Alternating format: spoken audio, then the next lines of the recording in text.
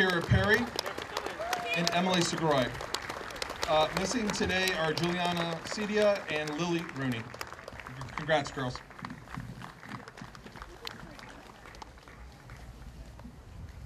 Jeffrey Toko. Two of the boys that aren't here today recognize also Aiden Kelly and Owen Flanagan. And I can have the rest of the group just step forward a bit. The coaching staff and my two bat boys, Chris Toko, Todd Pavone, Ben Paharic, Charlie Papura, and Matt Gahn doing a great job as bat boys. Thank you, everyone. So- George kind of uh, spoke a little bit about it.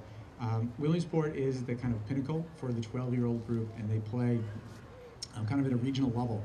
Um, in the last 53 years, Hopkinton has won it exactly once.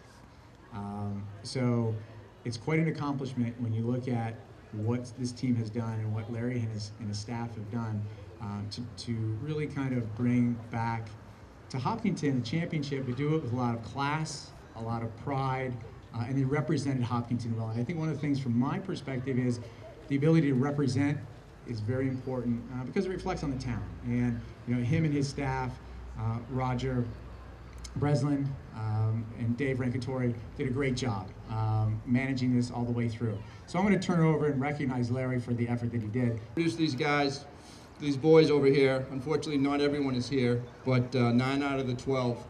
And they're not just talented baseball players that, that have had a lot of success, but they're just really, really good kids. And it was a privilege to kind of coach them and be around them.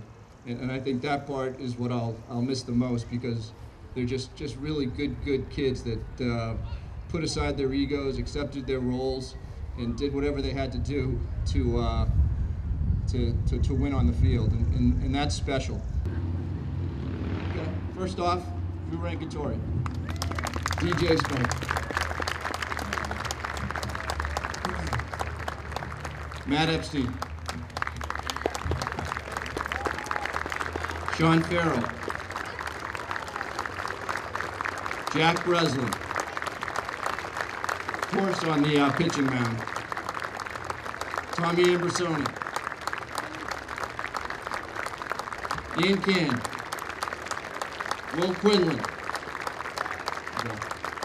Chris Canal, Andrew Saparocious, and I want to recognize Robbie Bernardin, Ned Dean, and Jack Whaley, all who aren't here today with other commitments.